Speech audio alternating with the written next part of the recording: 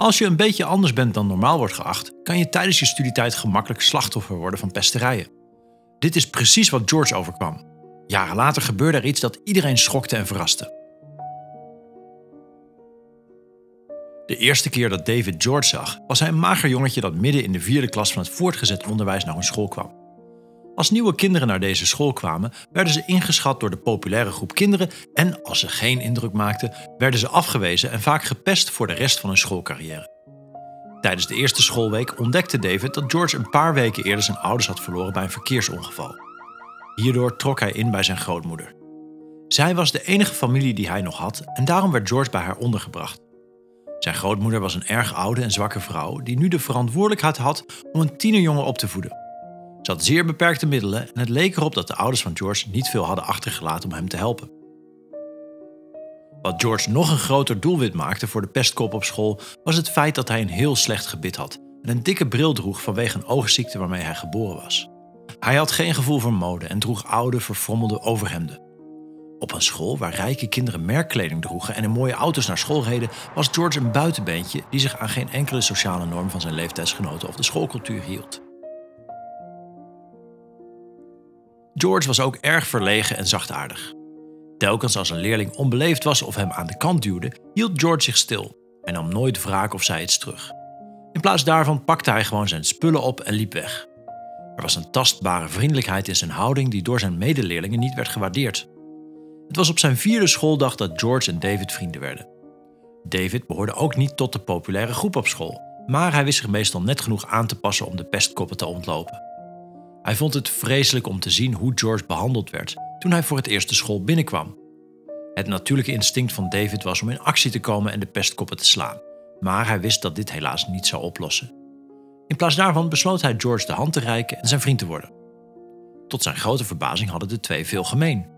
David ontdekte al snel dat George zeer intelligent was en dat hij veel kennis had over de ruimte en wetenschap. Hij had ook een geweldig gevoel voor humor als je hem eenmaal leerde kennen. Een andere aangename verrassing was dat George maar een paar straten van David vandaan woonde, wat betekende dat het gemakkelijk was om na schooltijd af te spreken. De ouders van David waren goede mensen die hun zoon leerden respect te hebben voor alle mensen. Hoewel David de financiële middelen had, droeg hij geen merkkleding en zijn ouders lieten hem werken voor dingen die hij echt wilde hebben. De eerste keer dat George met David thuis kwam, zag zijn moeder meteen dat hun bezoeker nieuwe kleren nodig had. Dus vroeg ze David door zijn kast te gaan en een stapel te maken van de kleren die hij zelden droeg. Gelukkig hadden beide kinderen dezelfde maat. Het klinkt misschien een beetje cliché, maar George werd al snel als de broer die David nooit heeft gehad.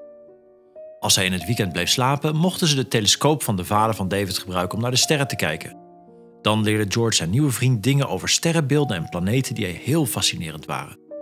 Hoewel hij nooit helemaal van het pesten op school af was, begon hij ook wat meer op te vallen en verlegde de pesters hun aandacht naar nieuwe doelwitten. George en David vermeden conflicten in alle opzichten en beschermden elkaar zoveel mogelijk tijdens hun schooljaren. David had een vriend en een broer gevonden op de meest onverwachte plek ooit en de band tussen hen werd met de dag sterker.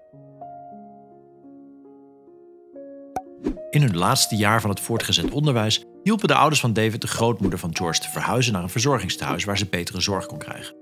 Zijn vader hielp haar huis een beetje te renoveren en verhuurde het om haar een extra inkomen te geven.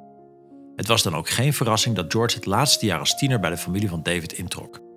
Ze zeggen dat jongens jongens blijven en altijd kattenkwaad uithalen. Dat was gedeeltelijk waar wat David en George betreft, maar ze werkten ook allebei hard op school omdat ze wetenschapper wilden worden. Allebei wilden ze in aanmerking komen voor een beurs om naar de universiteit van hun dromen te gaan, dus studeerden ze maandenlang hard en schreven tegelijkertijd hun opstel. Ze bereikten samen nog een mijlpaal toen ze allebei met een volledige beurs werden toegelaten tot dezelfde universiteit. De ouders van David waren erg trots op wat zij beschouwden als hun twee jongens. Het was voor beiden moeilijk om van huis weg te gaan, maar het delen van een appartement terwijl ze studeerden maakte de overgang veel gemakkelijker. Toen de grootmoeder van George in zijn eerste studiejaar overleed, werd het huis van David natuurlijk zijn huis. Hoewel er nooit een officieel adoptieproces is geweest, was George praktisch een broer voor David en een tweede zoon voor zijn ouders. Men zegt dat tijd veranderingen in de hand werkt. In het leven van George zorgde het verstrijken van de tijd voor een paar fundamentele veranderingen in zijn leven en omstandigheden. Naarmate hij ouder werd, werd hij fysiek wat groter. De twee broers begonnen allebei naar de sportschool te gaan, maar George bouwde veel sneller spieren op dan David. Zijn zelfvertrouwen groeide ook en hij ging zelfs uit met een paar mooie meisjes. Hij deed het buitengewoon goed op school, maar hij bleef een bescheiden jongeman die nooit vergat waar hij vandaan kwam. Met het geld dat George verdiende met kleine klusjes spaarde hij om tand- en oogoperaties te betalen om enkele van zijn lichamelijke gebreken te corrigeren. Hoewel hij niet gefocust was op zijn uiterlijk, waren de twee dingen die zijn zelfvertrouwen altijd onderuit haalden zijn slechte gebit en zijn dikke bril. Mensen hebben misschien gedacht dat David en George aparte carrières zouden volgen, maar ze zijn allebei na het afronden van hun studie voor hetzelfde bedrijf gaan werken. Ze waren hun carrière aan het opbouwen en werkten hard om de top te bereiken. Bezoeken aan hun geboortestad werden de volgende jaren op een laag pitje gezet. Toen de ouders van David de vrienden herinnerden aan de komende tienjarige reunie van het voortgezet onderwijs, wisten ze aanvankelijk niet of ze wel wilden gaan. Maar mama overtuigde hen om te komen. Niet alleen verlangden ze naar een bezoek aan een woonplaats, maar er waren ook wat persoonlijke spullen die de jongens moesten ophalen. George en David stemden ermee in om naar de reunie te gaan en kwamen terug naar huis voor wat tijd met de familie. De reunie begon met dansen en eten in de hal van de school. Toen George en David aankwamen, werden ze begroet door enkele bekende gezichten, maar ook door mensen die ze nauwelijks herkenden.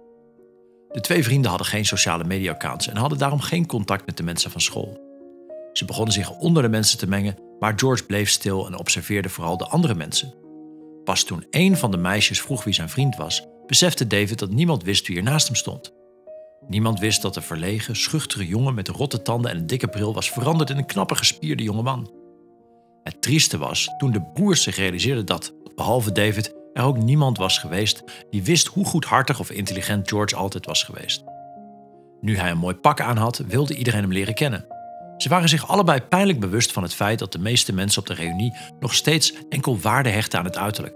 Het feit dat George en David aankwamen in een chique auto maakte indruk op veel van hun medestudenten, terwijl niemand van hen eigenlijk iets wist over hun leven en hun moeilijkheden van de afgelopen tien jaar. Na slechts een uur de schijn opgehouden te hebben, onttrokken George en David zich aan de menigte en gingen op het voetbalveld liggen, kijkend naar de sterren. Ze hoorde zelfs een van de populaire meisjes zeggen dat ze spijt had van de manier waarop ze George op school had behandeld. Ze kon niet geloven hoe knap hij was geworden en wenste dat ze in haar tienerjaren minder verwaand en veroordelend was geweest. Maar wat gebeurd was, was gebeurd.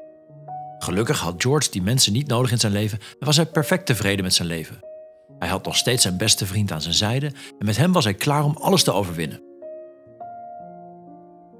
Wat vind je van de vriendschap van George en David? Ben jij als kind ooit gepest?